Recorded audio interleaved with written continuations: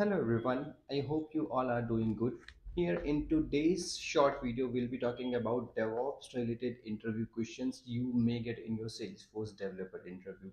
Okay, so Salesforce developer interview is no longer only about Salesforce. It is also about couple of other things and DevOps is one of the very important things. Now that companies are expecting you to have knowledge about DevOps as well.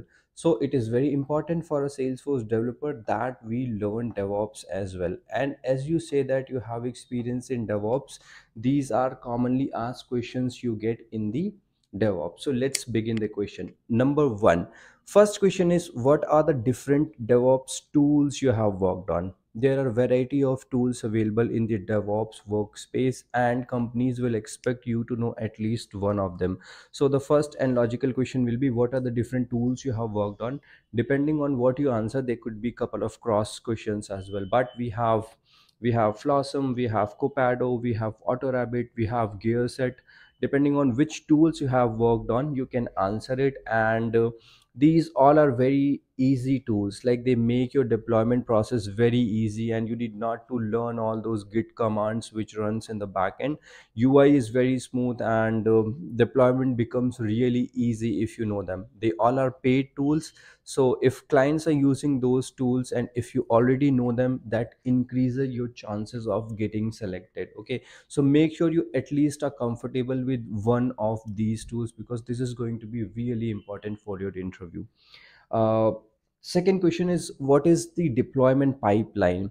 The moment deployments or CI/CD comes in picture, they will be asking about what is your deployment pipeline, as in how you do the deployment. So you here you'll have to explain how your deployment process work, then how do you do testing, how do you then move those things to production. So most of the time companies works in the sandboxes in the dev environment and then they move things to QA environment from qa they move things to uat environment where the business testers work on then few companies have pre-production org which they use for final testing and then they have production.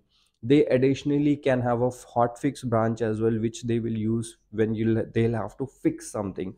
So from dev to qa to uat to pre-prod to production this is their deployment pipeline. Make sure you explain it properly and explain it depending on how you actually do it in your org okay. That question is how do you resolve the merge conflict during deployment? This is the most important and most commonly asked question from the devops spaces. How do you resolve the merge conflict? Like there will be classes where multiple developers will be working. There will be scenarios when your branches will be out of sync. And at that time when you try to deploy things it is very important that you only move your changes. You do not move other changes. But let's say if sync there is no sync in the repositories and you're trying to move something which contains the work of other developers as well you may get some merge conflict. You can resolve your, your merge conflict in git or in vs code or any editor you are using. But important here is that you should have the developers who have worked on that piece of code together so that you will be able to resolve it properly. You will not resolving it by default by picking the incoming changes or leaving out the out, out uh, incoming changes. So make sure that other developers who have worked on that same piece are also there and then uh, together you all can resolve those merge conflict. Uh, the next question is uh, you have recently deployed something in production and then that thing went wrong. What will be your approach now? So you recently deployed something but that deployment went wrong. So first step will be that you roll back that deployment. You roll back those things because uh, if you are not sure which thing went wrong then you will have to roll back. Keep it uh, or try to reinstate the previous state of your org and then try to fix it in the back end and see what went wrong what were the things which went wrong and then try to resolve it okay? And uh, the last question is you have a developer of uh, you have five developers team. Five developers are working on a same project.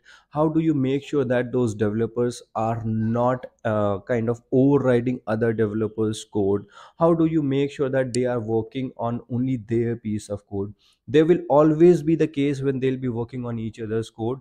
So to answer this you will have to um, try to answer it in a way that if there are different developers and they have their own sandboxes then that will not create any problem because they will be creating branches from their own sandbox. But if they are using common sandbox and if they are uh, using common classes where they when they are developing it is very important that they only move their changes to the higher environment even if there is a class where let's say there are 10 changes but if i am moving my change and there is only one change done by me I will only move my change. Even if it is showing me 10 changes, I will I will leave those nine changes for someone else. So I, I'll not move any other changes. Otherwise, when they will try to do, they will get the merge conflict. Okay.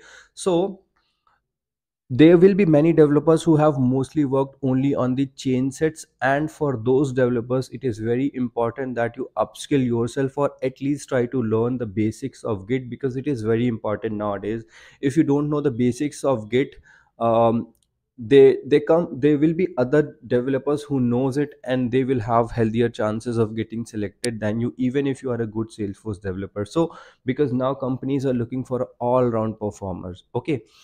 And then i am going to end this on a very positive note. There are people who just know change sets. You can try to explore the devops center which was recently launched by salesforce. Devops center is salesforce in-house tool. It is very easy.